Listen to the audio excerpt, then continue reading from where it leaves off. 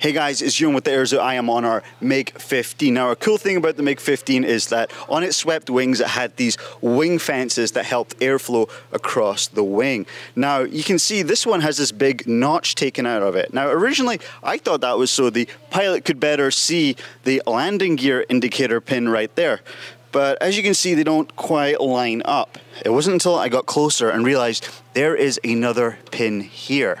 This indicator pin right here is for the flaps. So when taking off, the MiG-15 pilot could look on each wing to see if their landing gear was down, look at the nose to make sure their front gear was down, and check this little pin here to make sure their flaps were down and ready for takeoff. Really, really cool. Love this aircraft.